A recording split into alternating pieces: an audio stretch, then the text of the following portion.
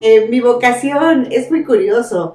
Fíjate que eh, siempre he pensado que cuando se habla de una vocación para dedicarse en la vida a algo, eh, pues normalmente tenemos alguien que nos inspire, alguien que de alguna manera motive el realizar un anhelo profesional. En mi caso no fue ese.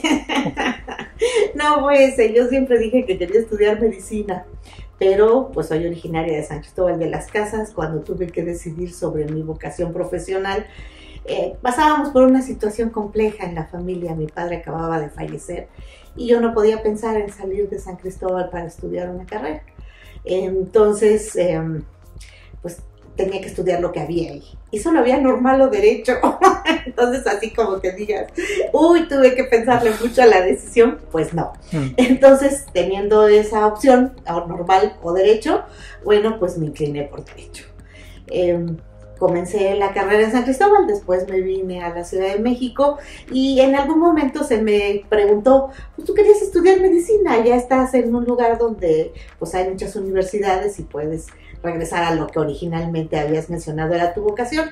Pero para entonces yo ya trabajaba como oficial judicial en un juzgado de distrito del Poder Judicial de la Federación y para entonces yo ya me había enamorado de la carrera judicial.